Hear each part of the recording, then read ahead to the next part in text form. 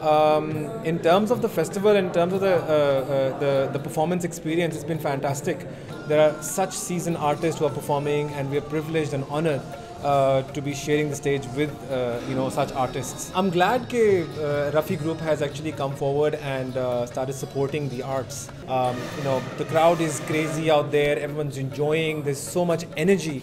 And I think that's what we all live for and that's what we perform for. So thank you, Rafi Group, for being part of it. Um, you know, keep up the great work for us and for yourself.